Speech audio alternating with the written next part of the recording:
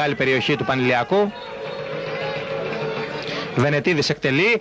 Είναι πολύ όμορφα εκτελεσμένο και είναι το 1-1 για την ε, ομάδα του ΠΑΟΚ μετά την έξοχη εκτέλεση φάουλ από τον ε, Βενετίδη. Ο Κοψαχίλης δεν κατάφερε να